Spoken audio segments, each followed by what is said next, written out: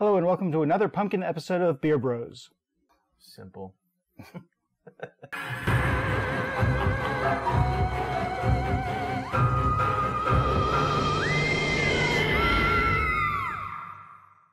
the first beer of the week to start off and kick off our pumpkin uh, season, or to actually wind up our pumpkin season, is going to be uh, our Kentucky Pumpkin Barrel Ale.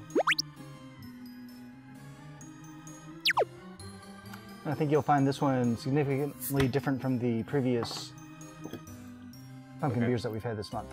So again, from our friends over in Kentucky. Not sure if that's brewed there, but uh, Kentucky, Kentucky is responsible for a lot of bourbon in the United States. It's become uh, actually more of a, uh, a hobby for people to brew their own bourbons. Mhm. What? I was getting to you.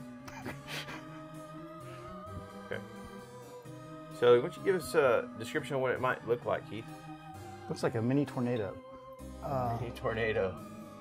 it's dying off now, but it's clear, very Tornado effervescent, and tan head. And again, the the pumpkin theme is is obviously what we're going for, but that doesn't mean that we can't find some more additives that go into this particular beer. So, give it a smell. It doesn't smell as strong as some of the other pumpkin beers we've had, but I get a hint, hint of the bourbon. And I was I was kind of on the opposite, opposite side. I think I smell a little bit more pumpkin and more nutmeg, more spices than I do the, the bourbon, but there is a little bit of there. I was expecting it to be more. Uh, typically, in the the bourbon barrel uh, variety of beers that we have or we've tried before, the bourbon was extremely, extremely strong once you open the, the container and once you open the bottle. Let's go ahead and uh, maybe give it a try, clinky drinky, see what we, we think what it tastes like.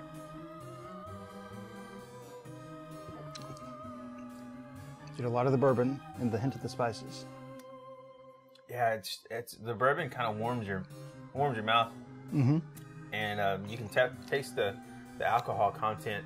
So let me see if I can find the ABV on this. Are there any other things that you noticed within the, the taste of the beer? Pumpkin spices. Still, for me, it's not coming out as strong as some of the other beers we've had. Okay, so a moderate pumpkin spice. Uh, I'll tell you at the end, I got a little bit of a roasted flavor. Mhm. So something maybe like a roasted pumpkin, um, something along those lines where there's malts that are involved and that are infused in the, the tail end of it. 10% ABV, so it's a pretty pretty strong beer. It's um, it's amazing how it's still effervescing. I think Yeah. you, you pointed that out. Said it looked like a tornado, but uh, man, it's it's really really um, bubbling up to the top there. Like, comment, subscribe down below. Let us know if you have any more pumpkin flavored beers that you'd like us to try.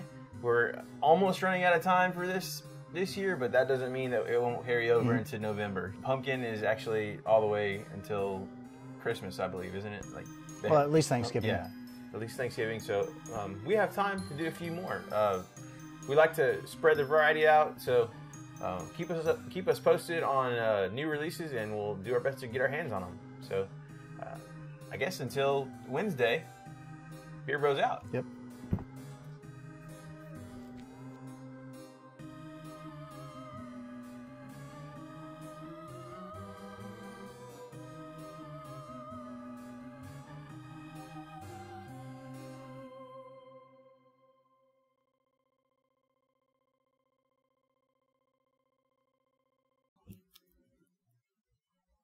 Kentucky pumpkin barrel. Are you excited?